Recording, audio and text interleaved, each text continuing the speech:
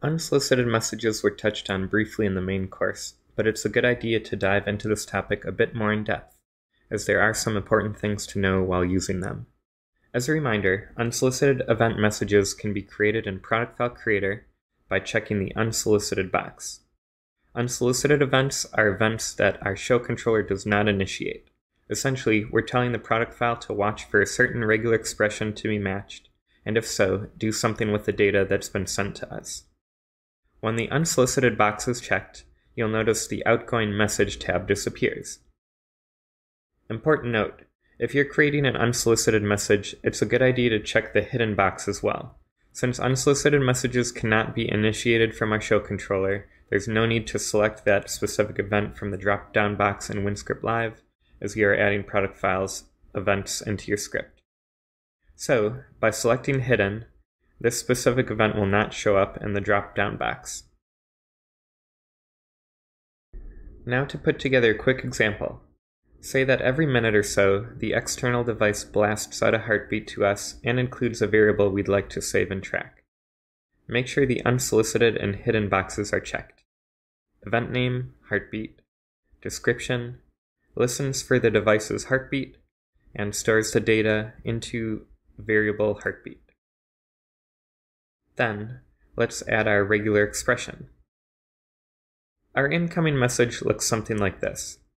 Heartbeat, space, 45, hex 0D. Now, we can capture it just like we would anything else. Heartbeat and the space are a constant. The number 45 is an example of the data we'd like to capture. Add it as a variable, and then create the variable heartbeat. Again, this is var underscore heartbeat. The carriage return is also constant.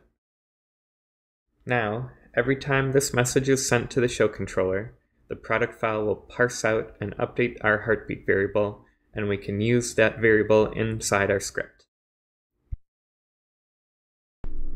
Finally, if you ever needed to reply to an incoming unsolicited message, you can use the Send Response checkbox. You can then select a different event that only consists of an outgoing message, like this.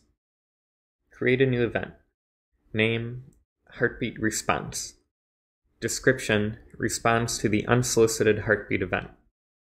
Uncheck the incoming message box as all this will do is send an outgoing message. Also check the hidden box as we don't want our programmers to access this event either.